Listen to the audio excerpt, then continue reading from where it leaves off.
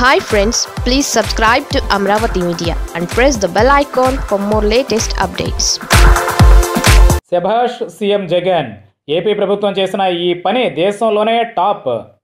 దేశంలో ఒకటే టాపిక్ అది అందనంత ఎత్తుకు దూసుకుపోతున్న ఉల్లిపాయల ధరలు. వీటిని అదుపులో పెట్టడానికి కేంద్రం సహా వివిధ రాష్ట్రాలు కింద మీద పడుతున్నాయి. అయినా అదుపు చేయలేని పరిస్థితికి నిత్యావసరమైన ఉల్లిపాయల రేట్లు పెరుగుతూ పోయాయి. కొన్ని రాష్ట్రాల్లో కేజీ వంద రూపాయల నుంచి రెండు వందల రూపాయలు దాటిపోయాయి.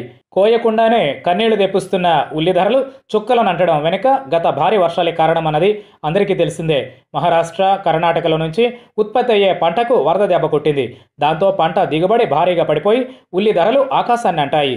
ఉల్లి ధరలను కంట్రోల్ చేయడంలో కానీ పేద మధ్యతరగతి వర్గాలకు ఇబ్బందులు లేకుండా ఏపీలోని వైఎస్ జగన్ సర్కార్ గట్టి చర్యలే చేపట్టి దేశవ్యాప్తంగా ప్రశంసలు అందుకుంది రైతు బజార్లలో కేజీ ఇరవై ఐదు రూపాయలకే ఉల్లిని రేషన్ కార్డులపై అందించి తక్షణ ఉపశమన కార్యక్రమాన్ని యుద్ధ ప్రాతిపదికన తీసుకుంది.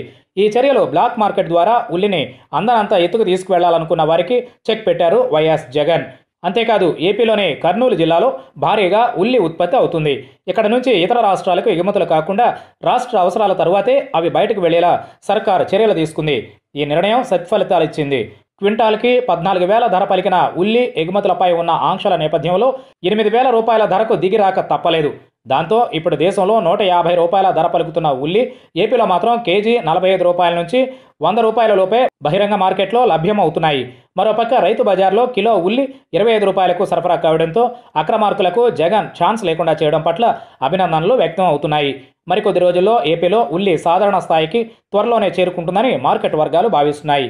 ఇదిలా ఉంటే ఉల్లి ధరలకు రెక్కలను జగన్ కత్తిరించిన తీరును ఆంధ్రప్రదేశ్ ప్రభుత్వ చర్యలను ఇతర రాష్ట్రాలు పాటించేందుకు పరిశీలిస్తుండడం విశేషం.